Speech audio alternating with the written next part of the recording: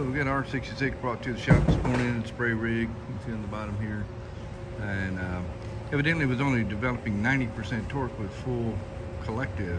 Uh, N1 seemed to be normal, temp seemed to be normal. So if to dig in, figure out what the problem is. And uh, we'll keep you guys updated on that as soon as we figure it out.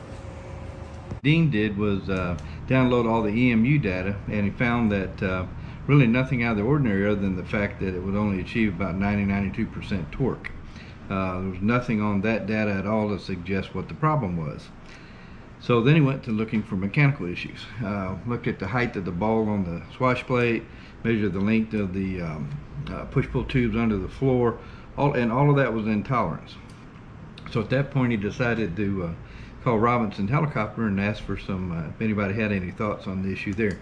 He ended up talking to, um, uh, it was Dan Rugenstein, and they had sort of a meeting of the minds on the phone for a bit, and then uh, Dan uh, mentioned, said, well, hey, why don't you check the, um, the slider uh, assembly on the friction, and there have been cases where people disassembled it to install, uh, modify the aircraft to put spray rigs on it or otherwise, and install that slider section upside down. So uh, let's go to the, the next little short video and I'll show you what we found. Okay, so here's looking at the slider on the friction for the collective.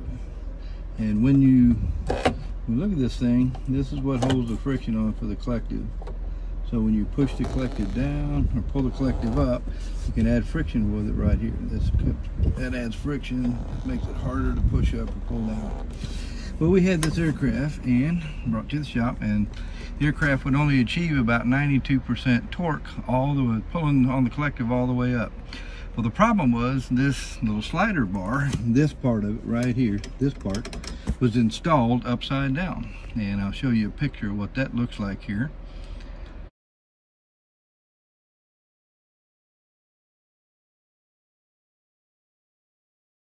And if you note, when you look at it, you'll see that the bolt hole that is down here, would be in the slider down here, is located up here. We took a picture before we fixed it.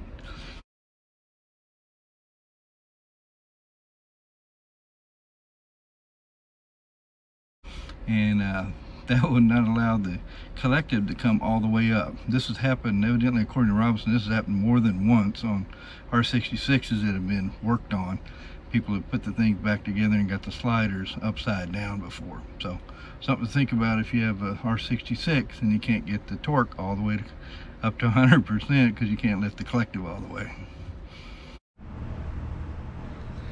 So this looks like an example of a very simple mistake that could have led to a very big problem.